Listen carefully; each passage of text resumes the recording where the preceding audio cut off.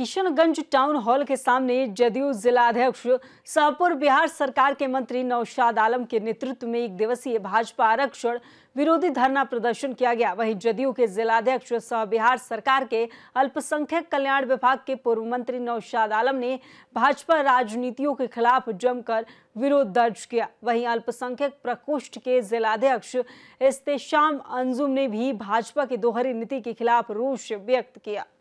का विरोध करके इस पे रोक लिया। प्रत्याशियों की तैयारी। मुद्दे को लेकर के धरना प्रदर्शन दे रहे हैं। क्या बातें हैं?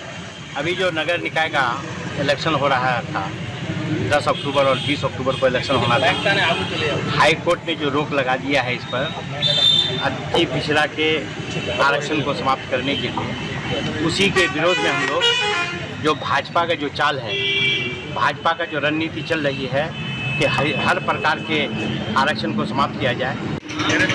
किस मुद्दे को लेकर के आप धरना में बैठे हुए हैं? हम लोग धरना में बैठे हैं भाजपा का पोल खोलने के लिए।